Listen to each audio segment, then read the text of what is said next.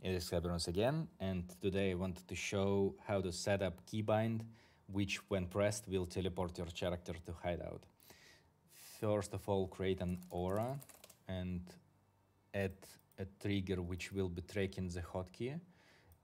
In my case, I will use F8 and also do not forget to change that mode to from toggle to click or hold because we do not actually want this aura to be toggled by that key. We just want it to activate once whenever this key is pressed.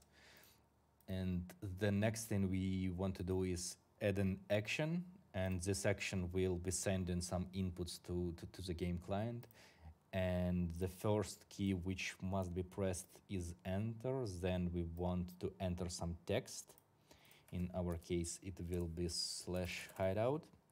Plus uh, it is usually worth changing input mode from each symbol individually to paste via clipboard because if game client supports it it will be just faster that way. So we will change it to this and do not forget to add the second enter which will commit the command. Also from from testing it seems that it it is worth adding some delays in between command entry and um, like the actual committed commit commit commit of the command because game client takes some time to process this. And yeah that's that's mostly it. Now if i will i will press my keybind my character will go to hideout.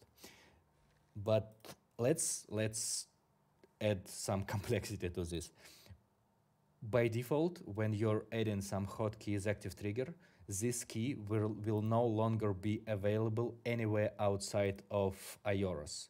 So it will intercept those key presses on, on the system level and will suppress them if this checkbox is enabled.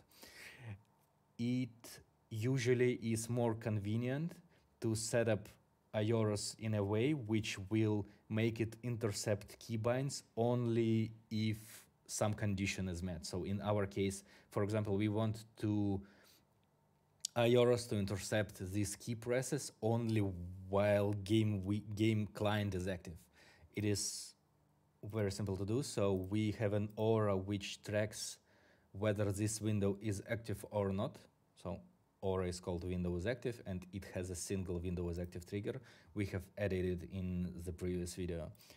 And all I have to do is click on Advanced and link that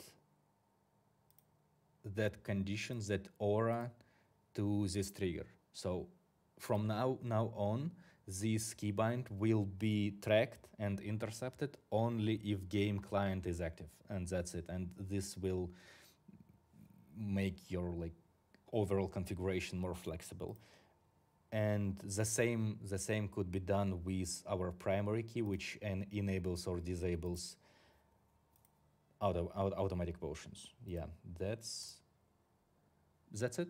That's how i use it and that's it for today.